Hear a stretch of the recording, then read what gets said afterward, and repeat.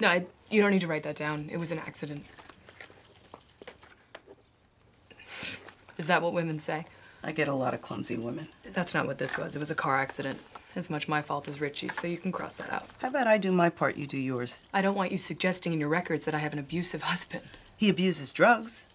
That's different. I want it to be about what it is. Drug abuse. And alcohol, which for an addict with a history of. Accidents. Is this supposed to feel like a cross examination? It's not supposed to feel very nice, and if someone told you it would, they misled you. You expect sole custody of the children? No.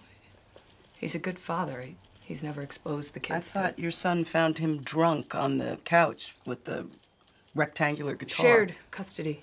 Because he's a good father. Yes. Sylvia! Invoice the hour. Do you want the questionnaire? Sure, what the hell? You bring a checkbook with you, Mrs. Finestra? Yes? Great. There's a 150 charge for this meeting, and Sylvia will give you a questionnaire. You can fill it out at home.